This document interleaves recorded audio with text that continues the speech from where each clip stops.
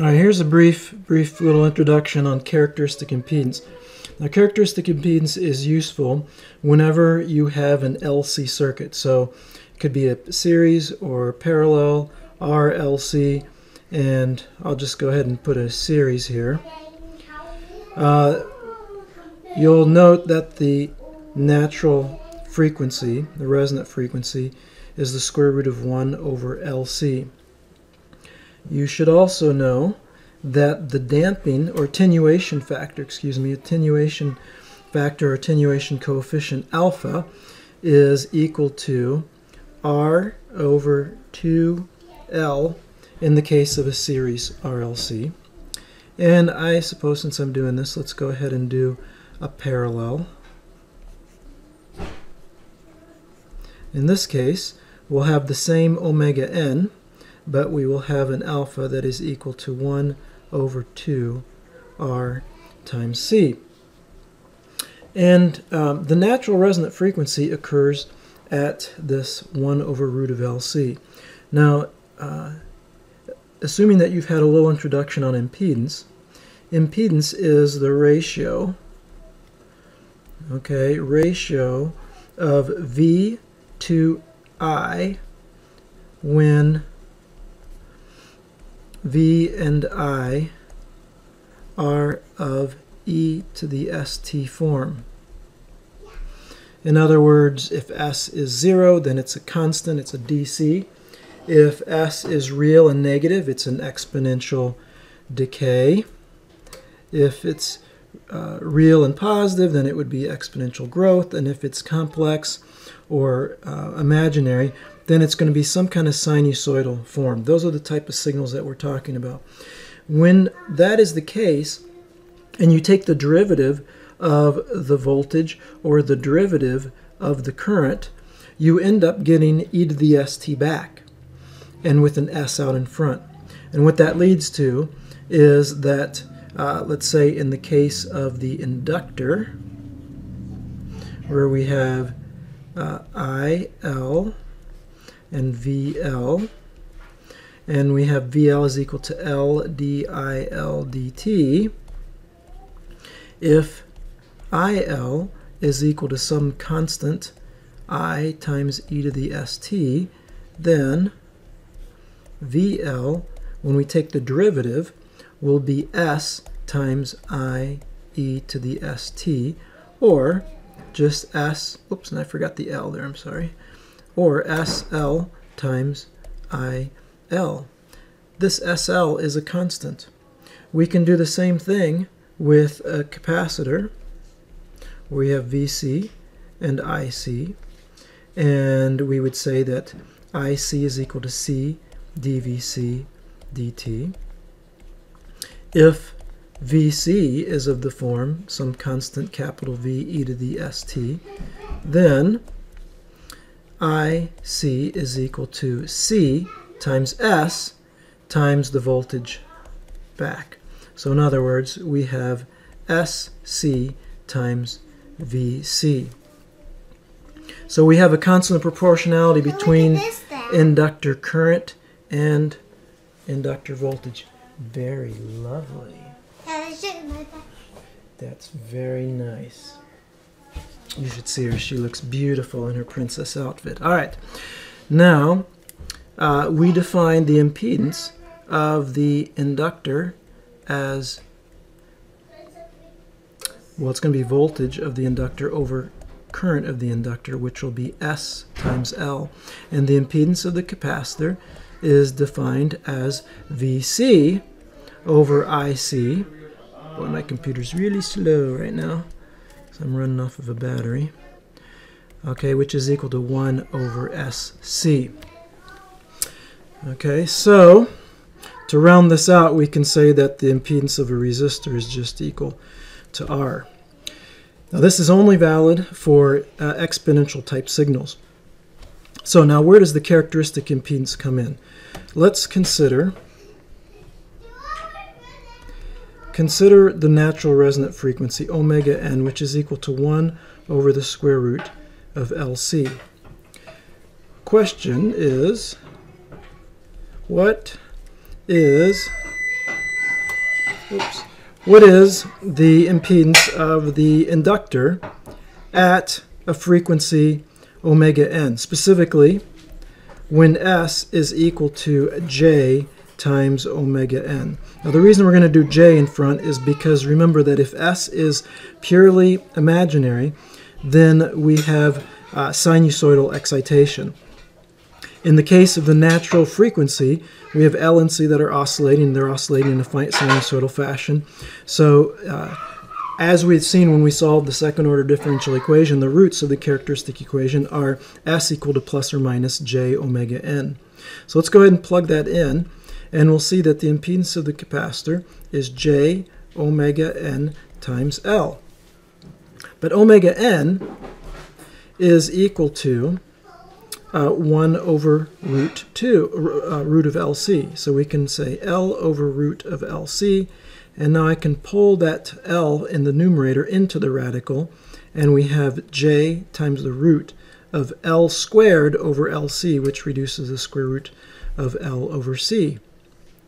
Now if we do the same thing for the capacitor, the impedance of the capacitor at j omega n, value of s of equal to j omega n, is 1 over j omega n times c. We can pull the, we can multiply the top and bottom by j, so we'll get j at the top, and in the bottom we have j squared, which is minus 1, so we'll put a minus 1 out front. And now we will uh, replace omega n with the 1 over root of LC, which puts L root of LC in the numerator. We're left with c in the denominator. We now pull the c into the radical, and we end up with 1 minus j, sorry, times square root of LC. And this quantity, square root of LC, is this special characteristic impedance. We define the characteristic impedance as L square root of L over C. Now notice that let's say L is 1 Henry, C is 1 farad, so square root of 1 over 1 is 1. So the impedance of the inductor at the frequency of resonance, natural resonance for this LC circuit, is J 1 ohm. Okay, it's complex, as might be expected, because we're talking about an inductor, not a resistor here. The capacitance, on the other hand, has an impedance that's going to be minus J uh, times 1 ohm.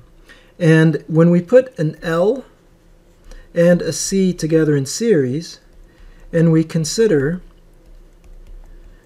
their effective impedance when you add them together, it will simply be the sum of ZL plus ZC. And we can write that as J omega L plus 1 over j omega L C, or I'll go ahead and put the minus 1 and bring j up into the numerator. So it'll be 1 over omega c. And what we find is that at the frequency that the LC circuit resonates naturally, the impedance of the capacitor and the inductor are equal and opposite in sign. And so when we plug in omega equal to omega n, this natural frequency, we end up with j square root of LC minus j square root of LC, which is equal to 0. And so you think about a circuit like this. If it has no impedance, no impedance at a particular single frequency, then the question is does it take any voltage to drive a current through this circuit? Say I have some voltage Vs. And the answer is no. If there's zero impedance in a loop of wire, zero impedance, any nothing blocking the current, then I don't really need any voltage to keep a current going as long as I have some initial current or some initial voltage that will get things started. In other words, I need some initial energy in my inductor or in my capacitor. So, uh, long story short, characteristic impedance is defined as square root of L over C. It has units of ohms, and the significance to it is that uh, the impedance of an inductor at the frequency that it resonates with the capacitor will be Z naught.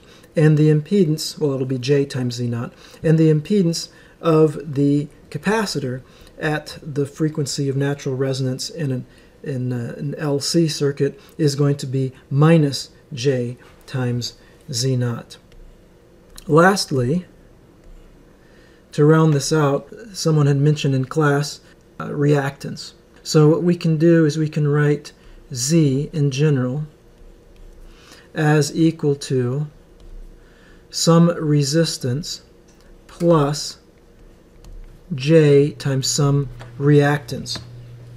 Okay, and uh, R is the real part, and X is the imaginary part. Now, when we look at the impedance of an inductor, for instance, it has zero resistance, real resistance. Has zero real resistance, uh, and it has J times omega L imaginary. Uh, reactance. Okay, so as a reactance, we say x of L is equal to omega of L. And we can say that the impedance of a capacitor is equal to 0 ohms plus, real ohms, or plus J times minus 1 over omega C. This minus 1 over omega C is the reactance of the capacitor, minus 1 over omega C. And so we say at resonance,